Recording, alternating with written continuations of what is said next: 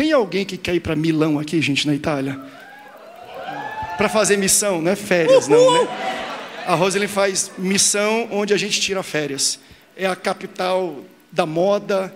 É, muitas pessoas vão ver os monumentos, né, as igrejas bonitas, históricas. Mas é um local simples de fazer missão. Novamente, voltando para aquilo, a gente pensa em missão, ou são em países pobres ou países fechados.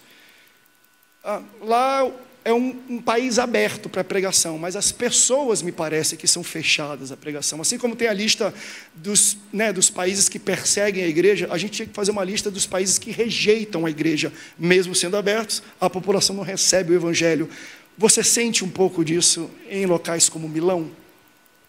Lógico, não só em Milão, o povo não vai só para moda, vai para comer, sobretudo, viu? Só para lembrar. que todo mundo fala vai para moda. Eles antes vão comer, depois eles vão comprar alguma coisa. É, a Europa hoje ela é vista como um continente já pós-cristão pelos estudiosos.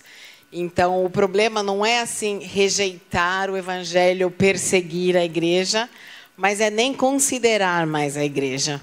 Porque quando você está ainda na oposição, quer dizer, você está tá resistindo a algo que você acha que tem. Ali não tem esse, esse tipo de, de rejeição à igreja, mas é assim, não existe. Então, o humanismo, que é algo que está chegando bem de leve no Brasil, ou talvez até mais rápido do que a gente imagina, onde o homem é o centro de tudo. Nós vemos até muitas pregações hoje, né, muito motivacionais. Não é mais Jesus, mas eu estou no meio disso. Quem eu sou. A Bíblia fala de pessoas que têm que morrer e hoje a igreja está ressuscitando todas elas. E isso já aconteceu na Europa. Então, quando você vai visitar, por exemplo, Roma, você vai ver na mesma rua o que hoje eu estou ali num hotel ali em Osasco e eu, eu comecei a contar as igrejas. Aí tinha a Universal, ali na frente tinha a Presbiteriana, Batista, é, Jesus Vive. Eu comecei a contar, falei, gente, parece que eu estou no céu. E isso me lembra a Itália, porque a Itália, porque é assim, a gente não tem tudo isso na Europa, sobretudo em Milão. Tem gente que fala, nossa, vocês estão aí, existe uma igreja? Porque não tem, é difícil você ver até algo escrito assim. Geralmente são em lugares bem difíceis até de encontrar. E aí você lembra de Roma, você vai para Roma e você vê uma catedral aqui, do lado tem uma catedral, como às vezes em São Paulo tem uma igreja do lado da outra, né? Só tem um muro que divide. Aí você vê do outro lado tem outra igreja. Então, já foi desse jeito. Já foi um lugar onde Jesus era o centro e hoje são todas vazias, completamente vazias, porque o homem está no centro. Então, não é simples pregar o evangelho não porque eles resistam a Jesus. Eles até falam, ah, tudo bem, ele existiu, foi um cara da história.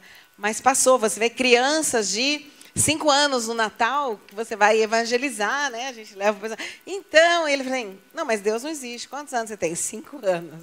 Tipo, já crescem tirando completamente Deus da vida deles. E a gente vê o resultado, né? Porque a depressão, a morte. Então, às vezes a gente acha que o dinheiro, né? Tá todo mundo querendo ser alguém, mas se você fizer assim uma análise, o Japão hoje, antes era a Suécia, o Japão hoje é o lugar onde tem o maior índice de suicídio no mundo, e, é rico. A Suécia é o segundo lugar onde tem o maior índice de suicídio no mundo, antes era no primeiro lugar.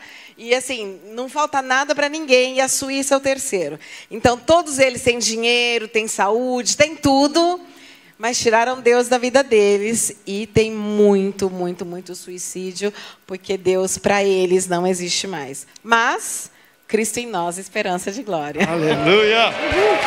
É. Glória a Deus.